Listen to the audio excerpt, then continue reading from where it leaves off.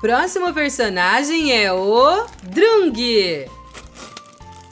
O personagem do Drung também é muito especial nesse filme. Ele hipnotiza as pessoas e também possui o corpo delas. Com isso, elas fazem o que ele quer. A roupa dele também é bem legal. E o que ele faz? Vamos ver.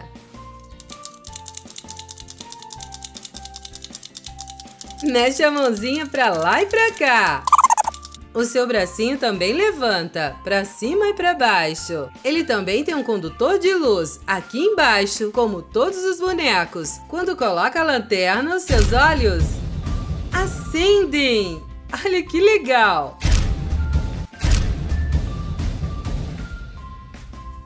Fantástico!